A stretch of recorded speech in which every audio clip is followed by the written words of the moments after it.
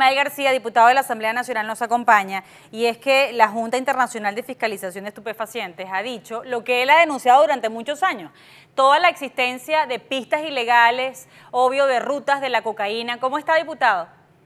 Hola, Carla, saludos, un abrazo. Gracias, igual para usted. Bueno, quiero que nos resuma no solo lo que dice esto, que, yo sé que para usted no es ningún secreto, nunca ha sido un secreto, pero como ahora reavivan estos temas por el enfrentamiento en la frontera y sabemos que hay una ruta allí de la cocaína que va a Centroamérica muy codiciada y que por eso están estas batallas en las que han puesto de mandaderos a los oficiales venezolanos,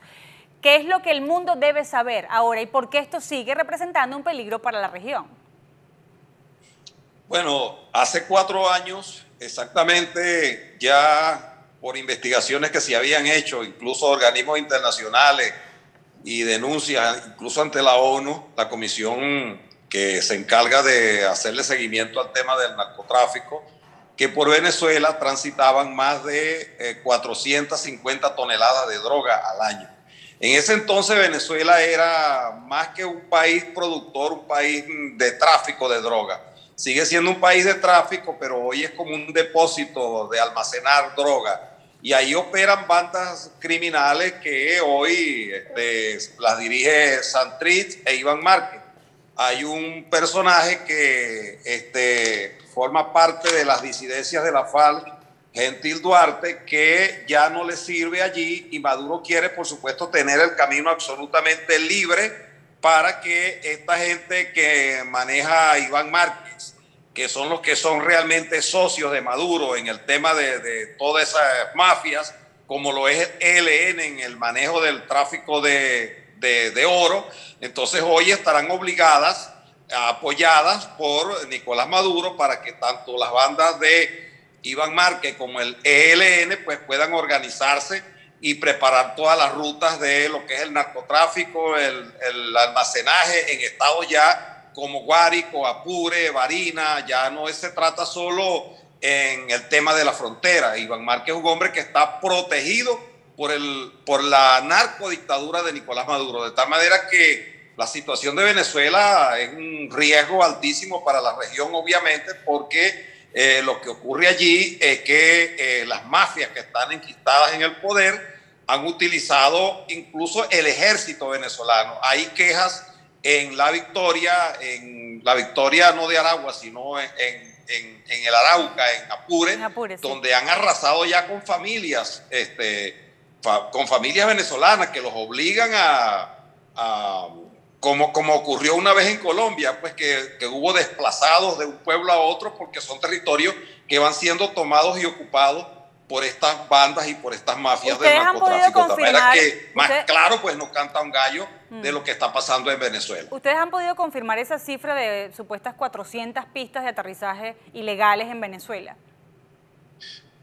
Sí, hay muchísimas denuncias. Hay unos dicen que son más, otras que son menos, pero en tal caso es un territorio prácticamente tomado por el ELN para el manejo del tráfico de droga y ahora con Iván Márquez que las diferencias que existen entre Iván Márquez y Gentil Duarte es que Gentil Duarte eh, es un hombre que no es de confianza de, la narcotiranía. Eh, es como pasó en una oportunidad entre Marulanda y Tirofijo. No era un problema que unos eran marxistas y otros eran troquistas o leninistas. Era sencillamente por el reparto de los territorios. Mira que lo que está pasando en Venezuela hoy más que nunca queda claro lo que hemos venido denunciando desde hace tiempo que se venían enquistando allí mafias poderosas, que la guerrilla eh, colombiana, en principio el ELN incluso fuera, era el que manejaba todo el, sistema de manejo del CLAC en algunos estados como Apure, en el Táchira, en la frontera. Hoy ya eso todo se acabó y prácticamente el país está en manos de estas mafias fascinerosas que lo que hacen es traficar, almacenar, ordenar, crear rutas y en las rutas internas que hay en el país por supuesto que eh, Maduro le conviene que sea Iván, y no es que los otros son unos santos, son iguales, eh, se están peleando por, por territorios eh, de ocupación. Imagínese usted la, la posición de Padrino López, el silencio de Padrino López, la gran sinvergüenzura y alcahuetería de Padrino López, que en algunos mandos medios o algunos oficiales de la Fuerza Armada, porque todos no pueden ser así, tiene que haber una gran inconformidad en este momento por la forma y la manera como ha sido tratado ese asunto, porque ya se descubrió, prácticamente está a la vista de todo el mundo, de los,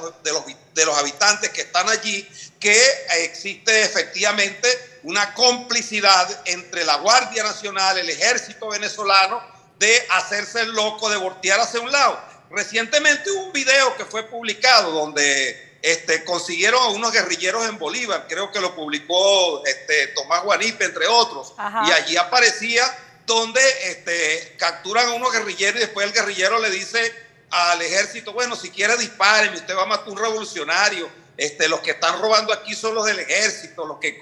los que saquean son los de la guardia, nosotros somos revolucionarios. Bueno, ahí nadie es revolucionario, hay todos maduros, diodados y todos en nombre de una fulana revolución que nunca existió, sino para saquear el país, para robar el país y hoy entonces día que el petróleo está en las refinerías acabadas, el país destruido, no funcionan los servicios, bueno, se dedicaron fundamentalmente al manejo del tráfico de droga, del almacenamiento, de la distribución entre los estados y de allí entonces salen esa cantidad de pistas que tú dices de aterrizaje. Incluso hay haciendas que han sido compradas, compradas forzadas, así como hacía Pablo Escobar Gaviria, que llegaba y le decía, mire, le compro esta hacienda. No, yo no vendo mi hacienda, no, eso usted se va de aquí, se le vale tanto. Y, entonces en esas haciendas las convierten en depósitos y en vías de, eh, para transitar eh, eh, droga. Una que sale efectivamente por Centroamérica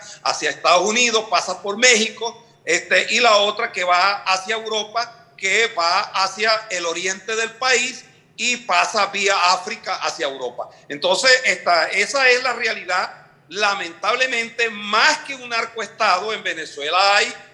además de eso, pues una gran estructura mafiosa que hoy cuenta con el apoyo institucional de eh, quienes están en el poder y lo que se están peleando en este momento no es sino quiénes son los que van a controlar el territorio desde donde van a manejar todas esas operaciones. Así es, diputado. Bueno, creo que lo describió eh, completo, todo lo que está ocurriendo allí, justo el resumen de lo que hemos visto durante toda esta semana. Ismael García con nosotros, diputado a la Asamblea Nacional. Voy a regresar con la familia de Roland Carreño, porque saben que cumple cinco meses mi querido amigo, colega venezolano, quien está secuestrado por el régimen de Maduro. Voy a hablar con su hijo, con uno de sus hijos y también con una de sus hermanas. Antes una recomendación muy importante, porque cuando estamos pensando en que nuestros familiares y amigos están en Venezuela y tienen una necesidad de salud,